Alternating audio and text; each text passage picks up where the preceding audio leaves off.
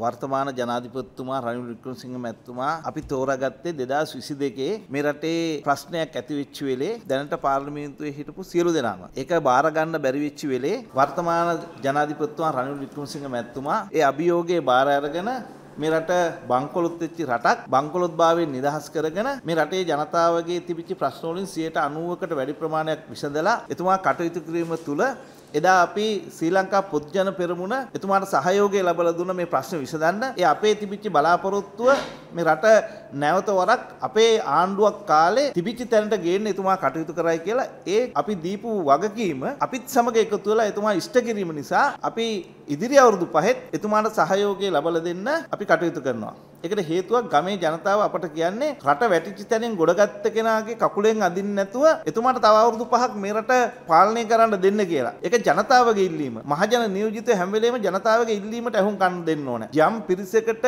මහජනතාවගේ ඉල්ලීම තේරුම් නැති වුණාට ඒක තේරෙන වැඩිම පිරිසක් අද වර්තමාන ජනාධිපතිතුමාට සහයෝගය දෙනවා. අපේ පාක්ෂිකයෝ වගේම පළාත් සභාවේ හිටපු මන්ත්‍රීවරු සභාපතිවරු ඒ සියලු දෙනාම අද එකතු වෙලා ඉන්නවා එතුමාගේ ජයග්‍රහණය සත්‍යමත් කරන්න. එතුමා ස්වාධීන පුජ්‍යලයක් හැටියට ඉල්ලන්න කියලා අපි එතුමාගෙන් ඉල්ලීමක් කරා කිසිම දේශපාලන පක්ෂයකට නැතුව. ඒක නිසා එතුමා දේශපාලන පක්ෂකින් නැතුව ස්වාධීන අපේක්ෂකෙක් හැටියට ඉදිරිපත් වෙනවා. එතුමාට අපි සහයෝගය ලබා දෙනවා. අපි දකිනවා එක එක අපේක්ෂකයෝ අප මුදල් බඳිනවා. හෙට ඉඳ තවත් කීප දෙනෙක් බඳිනවා. ඒ අප මුදල් බඳින අයත් මේ වර්තමාන ජනාධිපතිතුමාට අතවිස්සපු අය. එදා පාර්ලිමේන්තුවේදී 134කට ඡන්දය දෙනකොට දීපු කෙනෙක් තමයි හෙටනිද්දා ආපහු එන්නේ එයාටත් කරන්න පුළුවන් කියලා. හැබැයි මං අහනවා ඒ කරන්න පුළුවන්කමක් තිබුණා නම් අභියෝගයක් තිබිච්ච වෙලේ බාර ගන්න ඕනේ. දැන් කියන අභියෝග බාර ගන්න කැමතියි කියලා. එදා අභියෝගයක් තිබිච්ච වෙලේ බෑ කියපු අය මෙතුමා හොඳයි කියපු අය යමක් කරාට පස්සේ ඒක බාර ගන්න එනවා. අද අපි තමුන්නාන්සලා ඔක්කොම පේනවා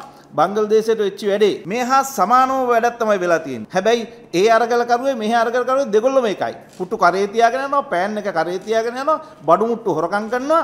ඒක නිසා බංගල්දේශයේ අරගලය කරන අයත් ලංකාවේ අරගලය කරපු දෙගොල්ලම එක හා සමානයි. හැබැයි ඒ රටේ ඒ අරගලෙන් පාර්ලිමේන්තුවත් අල්ලගත්තා. පාර්ලිමේන්තුවත් ගිනි තියනවා. ලංකාවේ ප්‍රජාතන්ත්‍රවාදය නැති වෙලා එදා රනිල් වික්‍රමසිංහ ජනාධිපතිතුමා වැඩ බලන ජනාධිපති වුණේ නැත්නම් මේ පාර්ලිමේන්තුවක් ගෙන තියලා අපිට පාර්ලිමේන්තුවක් නැහැ. ප්‍රජාතන්ත්‍රවාදය ආරක්ෂා කරලා දුන්නා. අද බංගලදේශයේ හමුදා පාලනයක් තියෙන්නේ. ලංකාවේ ඒක වෙන් උනේ නැත්තේ රනිල් වික්‍රමසිංහ ජනාධිපතිතුමාට හරි නායකත්වයක් දෙන්න පුළුවන් වුණා එදා මේ රටේ ත්‍රිවිධ හමුදාවට.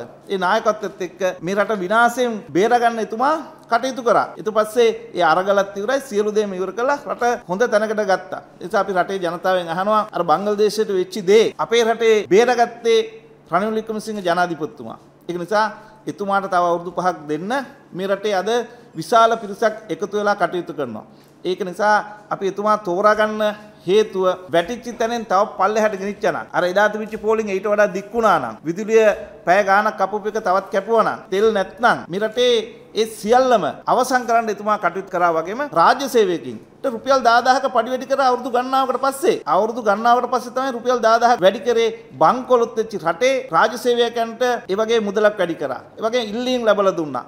මම මගේ අමාත්‍යංශයත් පළාත් පාලනේ අවුරුදු 15 20 සේවය කරපු 8400ක් රාජ්‍ය සේවය ස්ථිර සේවකයෙකු බවට පත් කරා. 29000ක් බහුකාර නිලධාරී ගෝඨාභය ජනාධිපතිතුමාගේ යුගයේ අපි බඳවාගත්ත අය රාජ්‍ය සේවය ස්ථිර සේවකයන් බවට පත් කරා. ඉතින් ඒ වගේ ලොකු වැඩ කොටසක් කරා බංකොලොත් කිව්වත් එතුමා මේ හැම දෙයක්ම කළා රාජ්‍ය සේවය ශක්තිමත් කළා මහ ජනතාවගේ ප්‍රශ්න විසඳන්න ගමේ සංවර්ධනයට මුදල් ලබා දුන්නා. එහෙම කරපු නායකයාට තව අවුරුදු පහක් දෙන එක මේ රටේ ජනතාවගේ වගකීමක්. ඒ නිසා ජනතාවගේ ඉල්ලීමට අහුම්කම් දීලා අපි එතුමා නැවත වරක් සැප්තැම්බර් මාස 21 වෙනිදා මේ රටේ ජනාධිපතිවරයා කරන්න අපි සීල දෙනාම අපකප වෙලා කටයුතු කරනවා.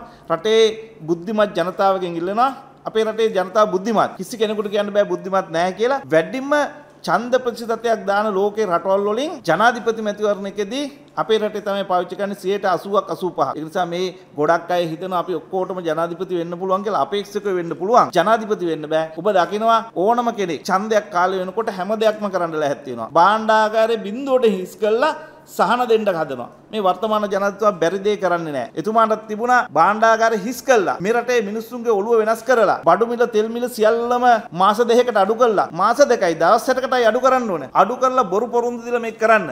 එතුමා හැම වෙලෙම කියලා තියෙන්නේ කාට හරි රට කරන්න මේ රට හරියට ගෙනියන්න ඕනේ. ඒ නිසා මම බොරු බරුඳු දෙන්නේ නැහැ. ඔබ දකින ඕනම මැතිවරණයක් එනකොට ජනතාවට සහන පිට සහන හම්බෙනවා. හැබැයි අඩුම ගානේ මේ නාම යෝජනා දෙන මාසේ තෙල් මිල සතයකින්වත් අඩු කරේ නැහැ. එහෙනම් ගොඩක් අය කිව්වා තෙල් මිල අඩු කරයි හැම දෙයක්ම අඩු කරයි කියලා. එතුමා කියලා තියෙන්නේ මම ඒක කරන්නේ ක්‍රමානුකූලව. ඉතින් ක්‍රමානුකූලව අපි දක්වන එතුමා මේ වැඩ කොටස් කරා වගේම ඉදිරි අවුරුදු පහ එතුමාට දුන්නොත් අපි රටේ ජනතාවට කියන දෙන්න කියලා ඒක ලැබුණොත් එතුමා අනාගත දරු පරපුරට හොඳ රටක් ඒ වගේම තරුණ තරුණයන්ගේ බලාපොරොත්තු ඉෂ්ට කරන්න ඒ තරුණ තරුණයන්ගේ තියෙන ප්‍රශ්න විසඳන්න එයාට රැකියාවක් ලබා දෙන වැඩපිළිවෙලක් එතුමා ආරම්භ කරයි. ඒ නිසා එතුමාගේ ප්‍රතිපත්ති ප්‍රකාශනයේ එතුමා ඉදිරිපත් කරන්නේ කරන්න පුළුවන් වැඩ විතරයි නොකරන කිසි දෙයක් එතුමා ඉදිරිපත් කරන්න අපි ඔක්කොම එකතු වෙලා එතුමත් එක්ක සහයෝගයෙන් එකතු වෙලා කටයුතු කරනවා.